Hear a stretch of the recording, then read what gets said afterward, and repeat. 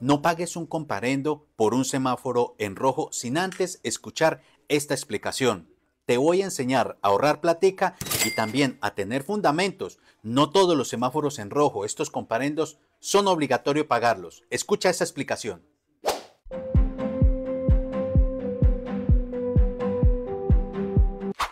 No todos los comparendos por la infracción en relación a pasarse un semáforo en rojo hay que pagarlo. En el derecho debemos analizar claramente lo que nos dice la ley y la jurisprudencia. Y en este caso vamos a examinar rápidamente la ley 769 del año 2002 en su artículo 118. Y dice de la siguiente manera, la luz roja indica el deber de detenerse sin pisar o invadir la raya inicial de la zona cruce de peatones si ésta no se encuentra demarcada, se entenderá extendida dos metros de distancia del semáforo. Atención a lo que les voy a decir, que estos son herramientas jurídicas para que ustedes se sepan defender, ahorren platica y ahorren problemas. El giro a la derecha cuando la luz en rojo está permitido, respetando la prelación del peatón. La prohibición de este giro se indicará con una señal especial. Las autoridades de tránsito en su jurisdicción podrán autorizarlo. Estos últimos tres incisos los vamos a examinar de tal manera que aprendemos entre todos, entre ustedes y yo, con el reportero Steven, qué tan viable es defendernos de un comparendo por luz roja o por pasarse un semáforo en rojo. Antes que nada, por favor, y suscríbete a nuestro canal. Síguenos, dale me gusta en todas las redes sociales. Estamos compartiendo contenido educativo para que entre todos nos defendamos con argumentos, con la ley, con la doctrina y con la jurisprudencia. Yo soy Jefferson Steven Perdomo, soy el reportero Steven, su abogado, para que usted se defienda si no tiene con qué pagar un abogado, pues usted mismo puede hacer estos procesos para que se libere de estos chicharrones tan malucos, si ustedes saben cómo les hablo yo, en el argot popular, para que entendamos cómo vamos a defender nuestros derechos.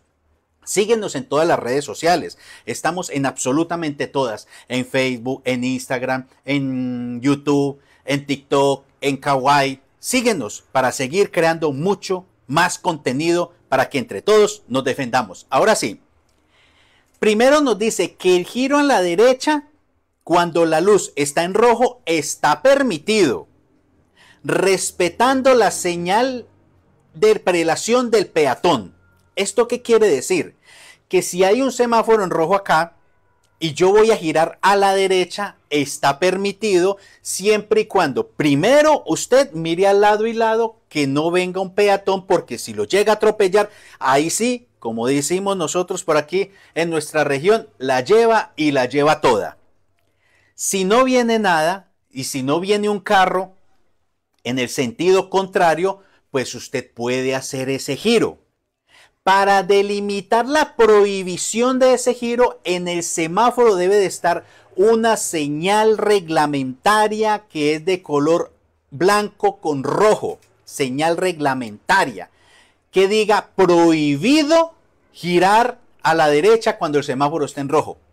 Así, y yo ya las he visto. De resto, usted puede hacer este giro, respetando la prelación del peatón. Ya hablamos que la prohibición de este giro se indicará con señalización especial. Cuando usted le, le imponen un comparendo, entonces usted le va a decir al guarda de tránsito, qué pena, ¿Por qué me está entablando un comparendo si la misma ley me faculta que yo puedo pasarme este semáforo en rojo a la derecha? No hay ninguna señal que restrinja esa, eh, eh, eh, esa delimitación de yo poderme pasar el semáforo en rojo. Si le hace el comparendo, usted en una audiencia frente al inspector, usted se va a coger al artículo 118, que es el que habla de la simbología de las señales luminosas. Atención pues para que no vaya a ir de una a pagar un comparendo. Si usted se pasó el semáforo en rojo, pero el giro fue a la derecha, no se lo pasó derecho, como decimos nosotros, eh, violando el semáforo, eh, lo que decimos pues en el argot popular, sino que usted giró fue a la derecha en el sentido que venía la vía, observó, no pasó nada. Pilas que con esto te enseño a ahorrar unos muy buenos pesitos. Pero a mí lo que me queda una duda, que esto sí debo de hacer la claridad porque la ley es la ley, es el último inciso que dice las autoridades de tránsito en su jurisdicción podrán autorizarlo. Hay cosas en el derecho que, que, uno mismo como abogado dice, pero ¿por qué lo complican tanto? ¿Por qué no dejaron entonces, se puede o no se puede? Porque allí yo soy consciente que en ocasiones, pues es donde está la piedra en el zapato, donde podría, por ejemplo, decir una autoridad de tránsito en un municipio, qué pena, pero es que aquí dice que las autoridades de tránsito en su jurisdicción podrán autorizarlo y nosotros no lo hemos autorizado. Pilas con esto, ¿tienes cómo defenderte? Sí.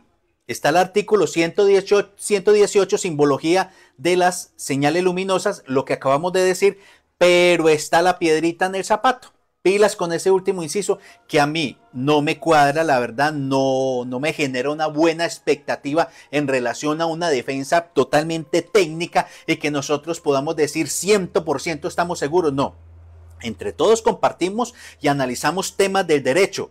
Ya nos queda a nosotros. Yo, por ejemplo, yo no lo hago. No lo hago porque me, no quiero, quiero evitarme como estos chicharrones y estos problemas con tránsito, pero la ley es la ley. Y si el día de mañana lo hago, pues me defenderé con la ley. Si alguno tiene algún comentario en particular, si algún abogado también nos puede ayudar, estamos prestos para atender y aprender entre todos en relación a estos temas de tránsito. Así que si se pasó el semáforo en rojo y fue a la derecha y estaba un semáforo en rojo y no tenía la señalización de prohibido pasarse este semáforo en rojo, girar a la derecha, por ejemplo, eh, pues es totalmente discutible frente a este artículo ya nos queda el último inciso que de pronto nos castiguen por ese lado y que la autoridad de tránsito en este municipio de Sutanejo, de Perencejo, no está autorizado. No sé, pensaría yo que si no hay una autorización en ese municipio, nos podríamos acoger entonces a, las, a, la, a los primeros incisos de la reglamentación general. Ahí quedamos entonces. Dios les pague a todos ustedes. Muchas gracias por observar este video. Síganos, síganos en redes sociales. Estamos generando contenido educativo, informativo, de entretenimiento, para que entre todos en derecho sepamos cómo nos vamos a defender en relación a todas estas circunstancias. Yo soy el reportero Steven. Dios les bendiga, Dios les guarde y compartan, compartan este video. Estamos en todas las redes sociales todas las redes sociales y observen todos los videos que son muy educativos para que entre todos nos defendamos del derecho. Dios les bendiga.